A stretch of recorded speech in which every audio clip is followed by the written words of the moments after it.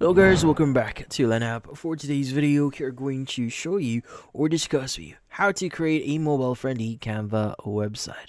So if you're interested, let's start tutorial. So you might be wondering how to exactly create a mobile-friendly Canva website here. Now, we all know that creating a website here in Canva is going to be a lot easier compared to other platforms out there. But the thing with uh, the website builder here for Canva, it's quite limited. But the thing here is with their builder, you could use the design tools that is already existing here in Canva. And also the great thing about Canva here is you could choose from the templates that is available right now on their platform. Now, how do we exactly create our website here and make it kind of mobile friendly here? So I'll be giving you some tips here and things that you may want to consider and you need to remember here when you're creating something. So first is first, let's go and start creating our website. Let's go ahead and go ahead and click on create design at the top left here. And we want to go to websites. As you can see, immediately, all the options that we can see here is going to be websites, which allows you to design your own website. There are going to be a lot of templates that you could choose from here, so go ahead and choose one that suits your. Now, obviously, you can start from scratch here if you want, but in our case, we want to make sure that we uh, basically uh, get, or in this case, set our website here a lot faster than usual. So maybe I want to use a very specific design here. So for example, maybe I want to use uh, this design here. Let's go and click on this one. Now from here, it should start setting up your website here and obviously as you can see different pages and a lot more. Now, the thing with websites or templates that you use here in Canva is you can add additional like elements in into it. You could add different designs in it. Like for example, let's go to elements here. Like for example, if you want to add a flower in uh, your design here, you could go ahead and do so as you can see right now. Now, obviously, you could go ahead and just do this for every page you want. Here, you could go and double click on the text and the image here. You can even like uh, basically upload your own photo here. So, for example, I'm going to select this one and upload my own photos. And my, maybe I want to do this for some of the photos that is already existing in here. It's going to start uploading some of the photos that we have. But yeah, so you could just change it in whatever way you want.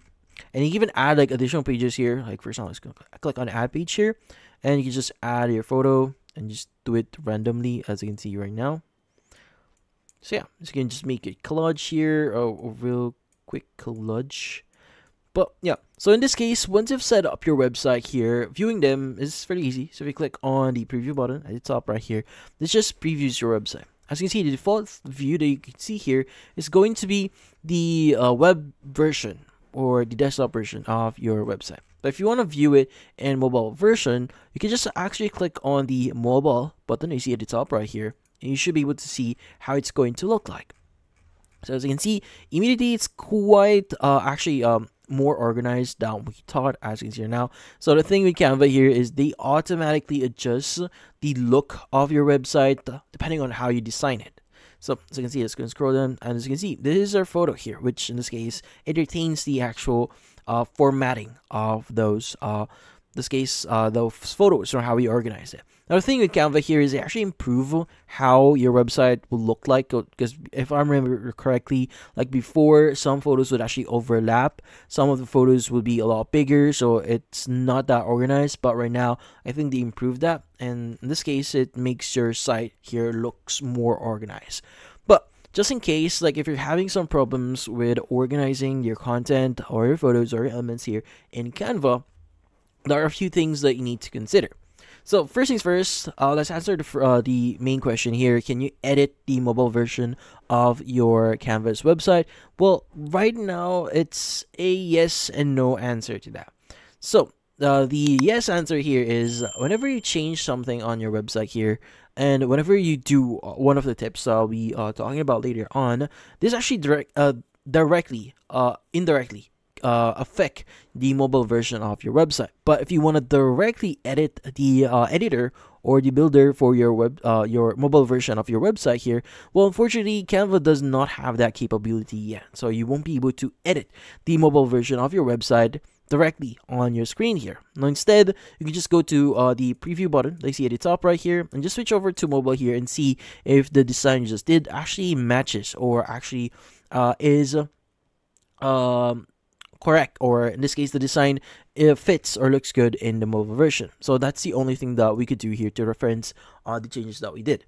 Now, the thing with this one is depending on how you set this up, the look itself will change. As you can see, since uh, most of the elements that we see here are overlapped, uh, some of the uh, the elements itself here, as you can see, they're closely together. This will be most likely be grouped together.